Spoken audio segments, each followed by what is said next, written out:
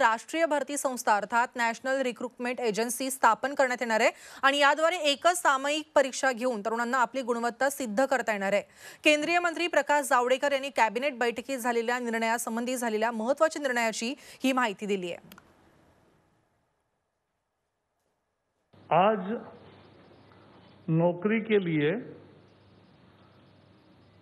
जो युवा होते हैं, उनको बहुत परीक्षाएँ देनी पड़ती है। और उनको लगभग 20 रिक्रूटमेंट एजेंसीज है। तो कोई चार पाँच में अगर परीक्षाएँ देता है तो उतनी परीक्षा, उतनी जगह जाना, ये सब समाप्त करने के लिए एक ऐतिहासिक फैसले में नेशनल रिक्रूटमेंट एजेंसी राष्ट्रीय भर्ती संस्था, ये परीक्षा लेने वाली कॉमन एलिजिबिलिटी टेस्ट ये लेगी।